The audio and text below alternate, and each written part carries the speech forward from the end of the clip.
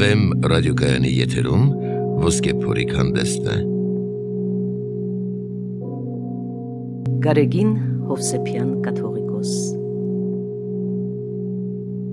Դարձ դեպի լուսավոր կյանքը Անառակի Կիրակին Կորուսյալ էր եւ գտավ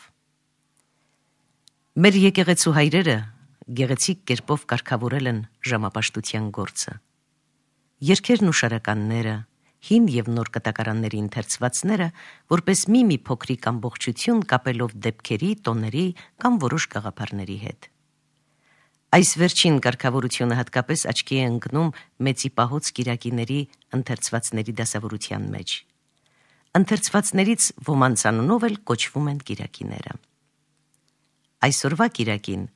անառակի Կիրակի է կոչվում, այն պատվական առակի անունով, որ անառակ որդու դարձի պատմությանն է վերաբերվում։ Ընթերցողների հիշողության մեջ վերակենթանացնելու եւ մեր խոսքի հասկացողությունը դյուրացնելու համար տալիս ենք առակի համառոտ բովանդակությունը։ Մի մարդ երկու որդի ուներ։ Կրծերը հորից ստանալով իրեն հասանելիք ժառանգության բաժինը գնաց օտարաշխար եւ շվայտությամբ վատնեց յուր ստացած ամբողջ հարստությունը։ Նորաչար բախտից այդ երկրում սով սկսավ եւ նա ստիպվեցավ հрьяի համար ամենից անարգ գործը խոզարացություն հանձնառնել յուր սնունդը հոգալու համար։ Բայց նույնիսկ խոզերի առաջ թափած մնացորդներից էլ բաժին չէր հասնում նորան։ Յուր ամենածանր նեղության մեջ հիշեց հորհացալից տունը, բազմաթիվ ծառաներով եւ որոշեց գնալ հոր ոտներն ընկնել, որ անարժան լինելով որդի կոչվելու ընդունե որպես մեկը յուր ծառաներից։ Անառակ որդին երբ մտեցավ եւ հայրը լսեց նորագալուստը, ընթառաջ գնաց, գրկեց եւ համբուրեց։ Պատվիրեց նոր զգեստ հագցնել, պարարտ եզներից մեկը մորթել եւ ուրախության խնջույք պատրաստել։ Զիայս որդի իմ մերյալ էր եւ եկիած, կորուսյալ էր եւ գտավ։ Մեծ եղբայրը երբ դաշտից տուն դարձավ եւ իմացավ պատճառը ուրախության, յուր դժգոհությունը հայտնեց հորը։ Այսքան ժամանակ քեզ հետ եմ եւ հավատարմությամբ իմ ворթիական պարտավորություններս եմ կատարում։ Մի օր անգամ չտվիր, որ ընկերներիս հետ ուրախանամ։ Իսկ քո այս ворթին, որ հարստությունդ անառակությամբ վատնեց, Պարարտ եզը մորթեցիր նորահամար։ համար Բայց հայրը մեղմությամբ պատասխանեց. «Որդիակ, դու միշտ ինձ հետ ես եւ ինչ որ իմս է քոնն է բայց քո այս եղբայրը մեռած էր եւ կյանք ստացավ կորած էր եւ գտնվեցավ Այս པարզ, բայց պատկերավոր սրտառուչ եւ գեղեցիկ առակի մեջ ամփոփված է ավետարանական քարոզության ամենամեծ գաղափարներից մեկը։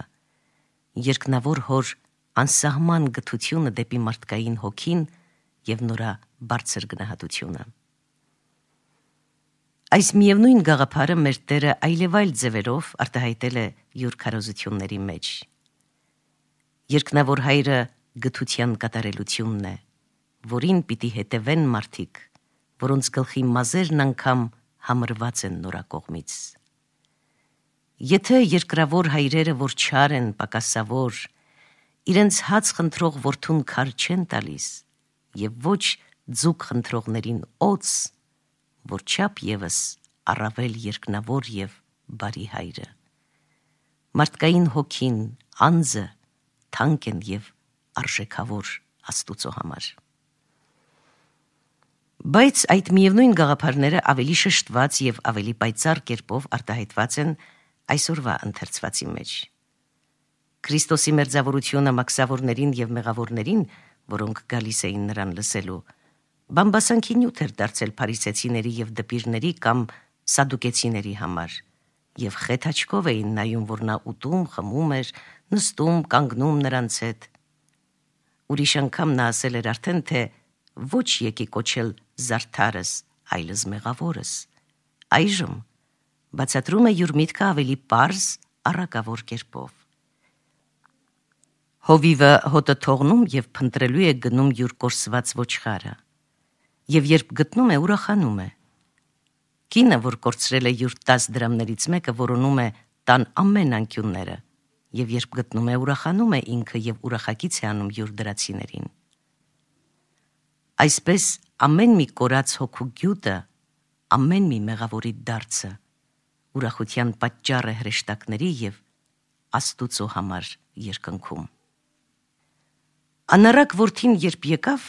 հայրը նորան չհանդիմանեց քննության չի ենթարկեց, թե ինչպես վատնեց յուր հարստությունը, ինչպես անառակ կյանք վարեց, այլ գրկաբաց ընդունեց նորան, համբուրեց, ուրախացավ եւ խնջույք սարքեց։ Բավական է, որ վերադարձել է մոլորված որդին։ Բավական է, որ հասկացել է յուր սխալը եւ դարձի եկել։ Մերելությունից հարություն է առել։ Փրկված է նորաթանկագին հոգին։ Կորուսյալ էր եւ գտավ։ Մնացածները երկրորդական են. Լայնախոհ, ներողամիտ եւ սիրող երկնավոր հոր պատկերն է գծագրված այստեղ դեպի մարդը, դեպի մարդկային թանկագին հոգին։ Մարդասիրության, անձի կամ հոգու գնահատության ամենաբարձր արտահայտությունը բոլոր կրոնների եւ մարդկության պատմության մեջ եւ բոլորովին տարբեր մեր սովորական մտածողության եւ հասկացողության չափանիշներից։ Մեր տիրոջ կոչումը փրկիչ բառով է սահմանված փրկիչ բարոյական մտքով։ Նա չէր եկել նյութական կամ արտաքին քաղաքական կամ տնտեսական հասկացողության փրկություն բերելու։ Նրա կոչումը շատ ավելի բարձր էր, հավիտենական։ Նա եկել էր ավելի թանկ բանի համար, հոգիների փրկության եւ նրանց արժեքի բարձրացման համար։ Խնդրեցեք նախ զարքայությունն Աստուծո եւ զարթարությունը նորա եւ այդ ամենայն հավելցից ես։ Արդարության գաղափարը ավետարանի մտքով ոչ միայն հակադրություն չէ քաղաքական ճշմարիտ ասատության եւ ժողովրդական կյանքի բարօրության, այլև նրանց հիմքը պիտի լինի։ Մարդկային հարաբերության մի նոր չափանիշ էր բերել սիրո եւ եղբայրության, հոգիների հավասարության եւ գնահատության գաղափարը։ Մի է Աստված եւ նա երկնավոր հայրն է ամենքի։ Հոգիների մեջ ազգի եւ սերի խտրություն չկա, արտոնյալ եւ իրավազուրկ չկա։ Բոլորն էլ հավասարապես թանկ են Աստուծո համար եւ թանկ պիտի լինին իրար համար։ Սիրեսցես զնկերքո, իբրև գանձնքո։ Եվ որովհետև թանկ է ամենայն հոգի կամ անձն,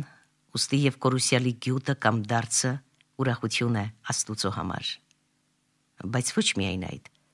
այլև պետք է կորուսյալի հետևից գնալ, փնտրել եւ գտնել նորան։ Այս է պատճառը, որ քրիստոնեության առաջին դարերից բարի հովիվը գտած ոչխարը ուսին նյութ է դարձել արցանագործության։ Հոգիների ազատության կամ փրկության նրանց բարձրացման համար է եկել Քրիստոս։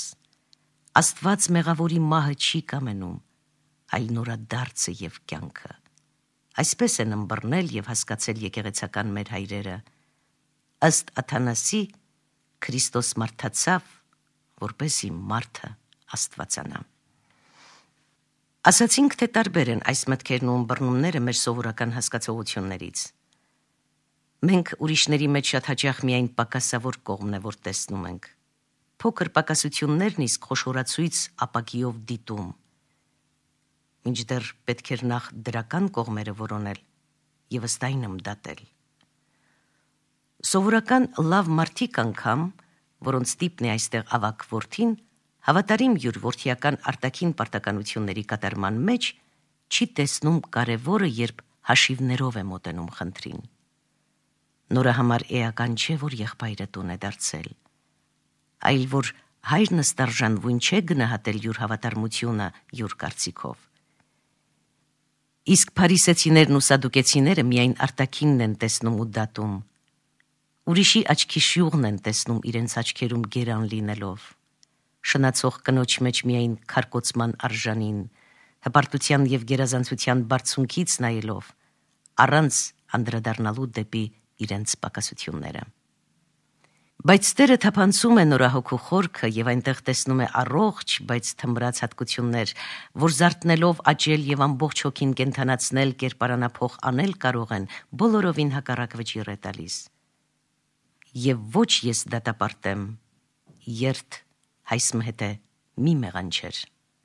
Կյանքի մեջ երբեմն ներողամտությունը դեպի հանցագործը ավելի դրական արդյունք է ցույց տալիս, քան պատիժը, որին արժանի է միայն Մարգարիտը խոզի առաջ չպիտի ձգել։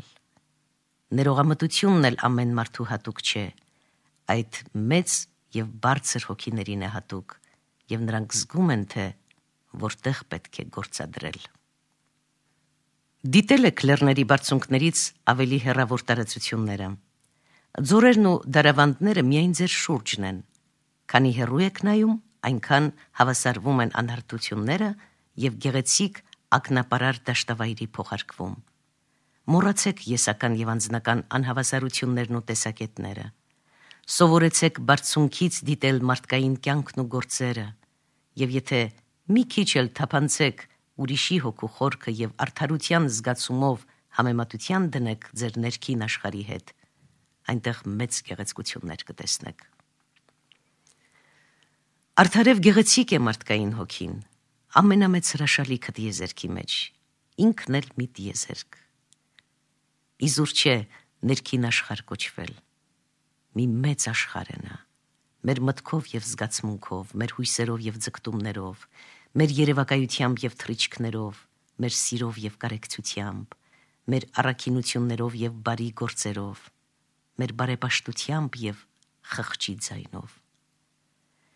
Հասկանալի է, թե ինչու մեր Տերը մարդկային հոգին կամ ներքին աշխարը արխայության վայր է ճանաչել։